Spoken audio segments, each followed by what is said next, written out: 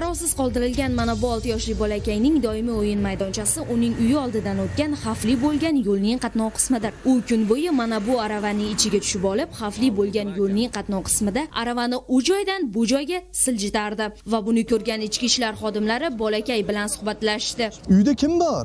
Chiqqan hech kim yo'q bo'lsa uyda o'tirish kerak u chiqmash kerak u uyda dadasi ayasi yo akasi kelgandan keyin so'rab chiqish kerak. Onasi ishda ekanligini aytayotgan bolakayni ichki ishlar xodimlari qo'shnisiga tayinlagan holda topshirib ketishdi.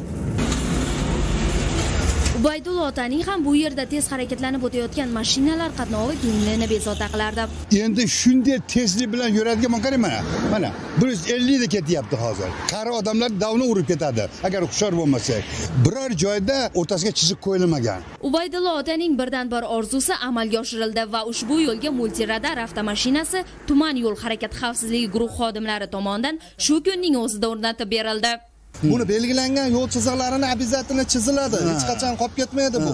Hozir mana hali oxiriga ta'mirlash ishlar oxiriga yetmaganligi uchun hozir to'xtab turibdi bular. Murojaatingiz bo'yicha bu yerda haligi hujjatsiz transport boshqarayotgan haydovchilarga nisbatan ham chora ko'ramiz. Mana shu belgilangan tartibda uni nexia uchimiz turibdi. Mana shu yurib ketayotgan holatda to'xtab turganda ham qoidabuzarlikni aniqlaydigan nexia uchimiz.